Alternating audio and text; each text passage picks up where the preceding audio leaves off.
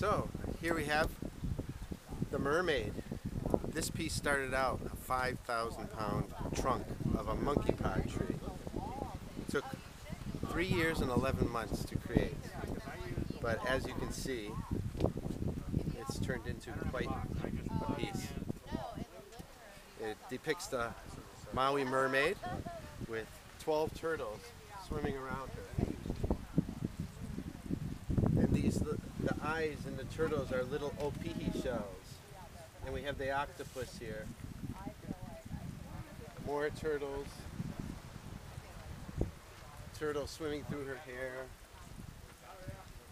Then we have a cave down in here with a puffer fish way inside, an eel coming through, more turtles. And it's all one piece of wood, Wow. What kind of wood?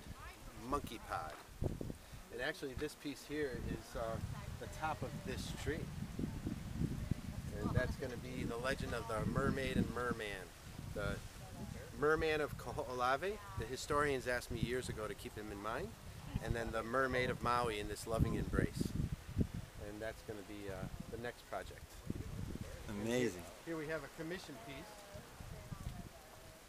going to San Jose, and it's still in progress. There's a lot of details left. Um, started carving the scales the last few days, and it's very much like reminiscent of the large mermaid. I call that her big sister, and this is the younger sister. Wow. And this also is monkey pod. It's very characteristic of monkey pod to have some white wood and, um, on the outside. So uh, this has some of the sapwood, which is very light colored, but then also the heartwood, which is much darker. So if you want to come and see her, we're at Charlie Young Beach here in Kihei.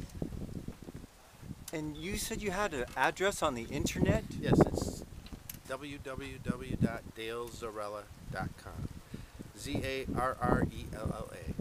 Thank you so much. Dale. You're very welcome. Aloha. Thank you. Aloha.